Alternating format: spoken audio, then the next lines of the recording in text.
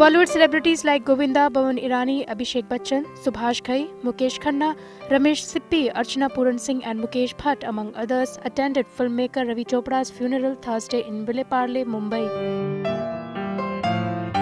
Son of legendary producer and director late B.R. Chopra and the nephew of late Yash Chopra, Ravi Chopra died Wednesday due to severe lung ailment. He survived by his wife and three children.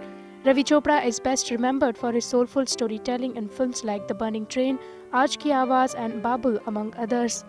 IANS report.